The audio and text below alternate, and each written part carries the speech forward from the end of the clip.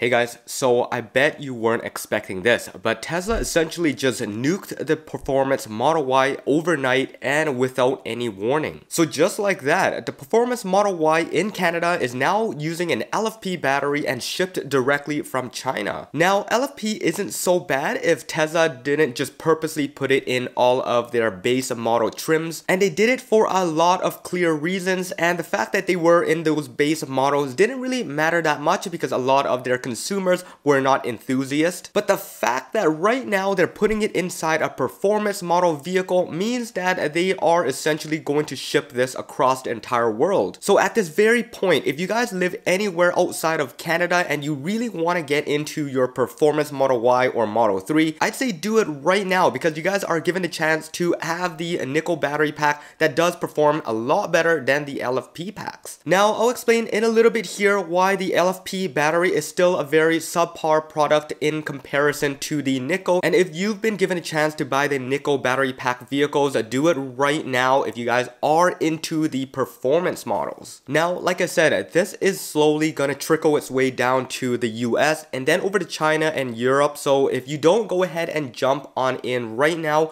you're gonna have a car with a lot of negatives. Matter of fact, they're already testing vehicles from China down in San Francisco, specifically the Model Ys and Model 3s. If you guys haven't already seen the videos on those, go check it out. I'll drop a link right down in the description below and right up top there. And they're not even trying to hide it at all. And the fact that they're testing these China-made vehicles in California means that they are likely going to bring those vehicles over here for consumers. So now let's get into the recent changes that has been happening in the past month. There has been so much going on with the long range model finally coming back, but it wasn't the Project Highland vehicles. Right now, if you pick up a long range version of the Model 3 down in the States, you're gonna have 325 miles, and even less than that if you do decide to opt for the 19 inch wheels. Now, in comparison to the performance model, which does qualify for the full tax incentive, whereas the long range only qualifies for half just because it's made in China, the performance actually gets more range than the long range, which ruins the idea of calling it a long range overall. So I don't know what Tesla's trying to do here. Are they trying to slowly get rid of the long range vehicle or are they trying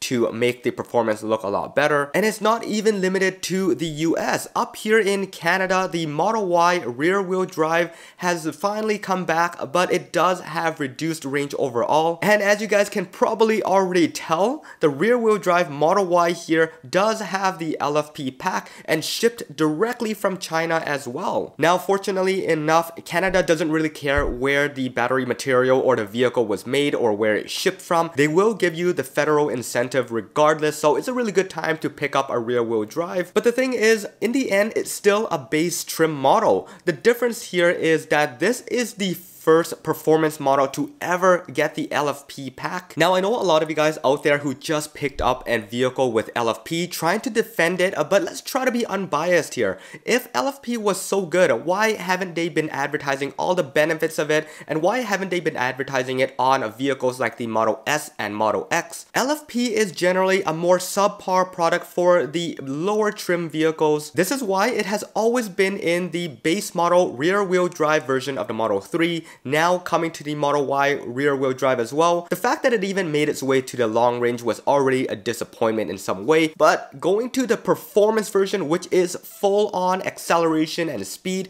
that is a really a big downgrade. Now, I'm not gonna go too in depth about why LFP is subpar compared to nickel, but the first few things here that comes to mind is the fact that it's a lot heavier. The second thing is that it is not energy dense, so that means that you're gonna have less room for energy within the same same amount of space. The third thing is that it cannot output the same amount of energy. This is why it's not in the performance models. And then the fourth thing here is that it's horrible in cold weather. So four of those things combined don't really work well for any performance models out there, regardless of if you can charge it 100% daily or not, doesn't really matter to me. Now I typically like to buy the best of the best when I buy anything, and that means the AMG world, the M, the RS, and in Tesla's world, this is the performance performance models. Now keeping that in mind, do you really want to buy a performance model of any car and have it perform worse than the other cars? Not really. Now luckily enough in the case of the performance Model Y up here in Canada, the performance still practically stayed the same. The only dip here is the range. The original performance model had 489 kilometers approximately, that is 303 miles. And the new one here with the LFP pack now has 459, that's roughly about 285 miles. So that is roughly 10 to 15% dip right there in terms of range. So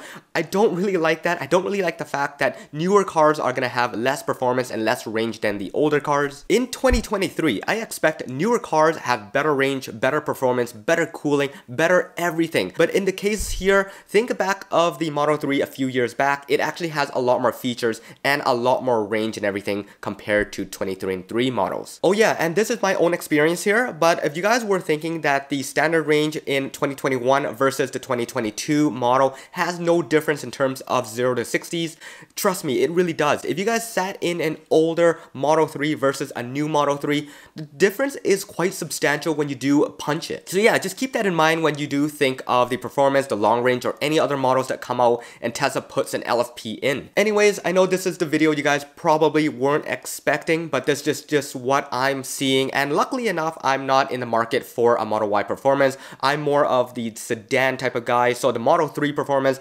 hopefully this sticks with the nickel battery chemistry because if it switches over to LFP, I am completely unsold on the idea of buying any of the performance models. Now just fingers crossed here that it doesn't switch over anytime soon and I can pick up the Project Highland Model 3 in time before they make the switch over. But yeah, sorry for the rant guys. I do think this is the way that Tesla is probably going to be moving forward in the future with. So if you do have the chance to pick one up right now that's a nickel pack, I'd recommend going out and doing so. But yeah, let me know what your thoughts are in the comments below and if you guys are picking up a Model Y Performance, what country you're in and if you're in Canada, how was this affecting your purchase decision? Anyways, this should wrap it up for this video. I hope you guys enjoyed it. If you did, make sure you guys hit that subscribe button and that bell notification. I will be pushing out a lot more videos as a lot more things have been going on in the past couple weeks. So yeah, this is it. Once again, peace out.